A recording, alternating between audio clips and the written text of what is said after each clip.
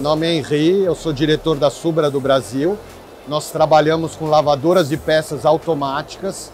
Aqui vocês podem ver o modelo L55, é uma lavadora rotativa, cesto rotativo. Ele está lavando peças metálicas com água e detergente.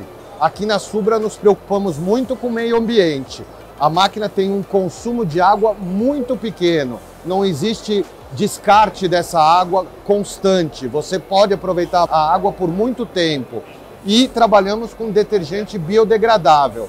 Por isso, o operador não tem contato com produtos nocivos. Podemos ver aqui uma outra máquina de lavar trabalhando com caixas plásticas. Hoje as indústrias estão lavando caixas plásticas nas nossas lavadoras.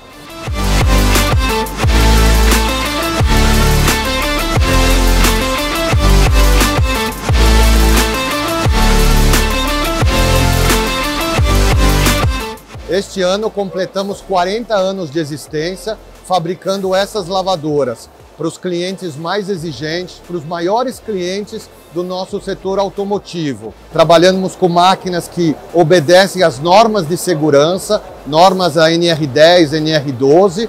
Atendemos a outros tipos de cliente também, além do automotivo, como alimentício e outros.